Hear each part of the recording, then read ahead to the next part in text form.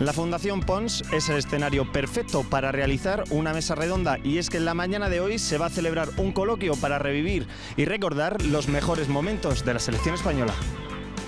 Este martes 23 de junio, Cabreiroa, colaborador oficial de la selección española de fútbol, ha celebrado un coloquio para revivir los mejores momentos de esta selección. Como no podía ser de otra manera, la mesa estaba formada por Vicente del Bosque, José Ángel de la Casa, Ignacio Zoco y la presentadora Noemí de Miguel. En el acto se han recordado momentos emocionantes como la victoria ante Malta o la final de Johannesburgo, la cual nos brindó el Mundial. Hemos tenido la suerte de ser futbolistas, de estar en este mundo y en este tiempo en la que hemos vivido estos éxitos de la selección española, pero si veis el estilo de juego no creo que nadie le ponga el sello de defensivo a una selección que fue campeona del mundo por, los jugadores que tenía y que no tenían el sello de ser un, equipo defensivo, pero se ganó por la mínima, con mucho esfuerzo, con mucho trabajo, pero un equipo como el agua, equilibrado. Al desmarque de Pereira, hacia el extremo.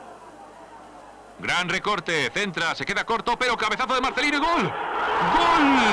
¡Golazo de Marcelino! Tremendo testarazo de Marcelino que se cuela por la izquierda de la portería de Al campo y empezamos bastante bien, marcó Pereira, pero luego nos empataron enseguida y no, y no marcamos hasta faltando 8 minutos. 81 era, ¿no? Ahí... Pasamos, las pasamos canutas. Mm. Señor y Víctor, Víctor, ha caído, señor, señor, gol, gol de señor, gol de señor, el número 12, señores.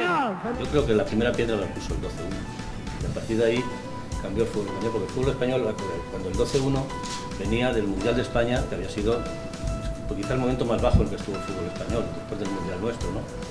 Y Miguel Muñoz ahí rehizo el equipo y a partir de ahí se empezó a trabajar de otra manera. Creo que es también un poco el fruto de, trabajos. Esperamos que el equilibrio y la vitalidad de Cabriroa llegue a nuestros jugadores para disputar la Eurocopa de Francia.